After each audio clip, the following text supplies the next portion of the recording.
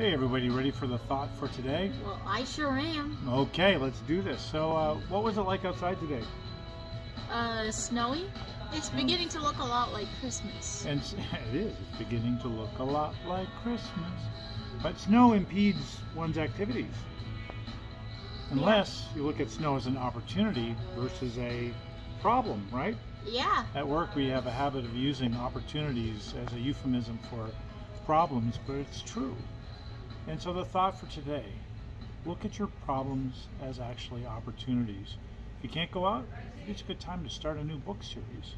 Things like that. You know, I, I could give other ideas. With us, I broke out the RC car that can go in the snow, and I spent some time in the snow. And I was staying inside racing. Exactly. Either way, the thought for today, see your problems as opportunities. I love you. We'll see you again tomorrow.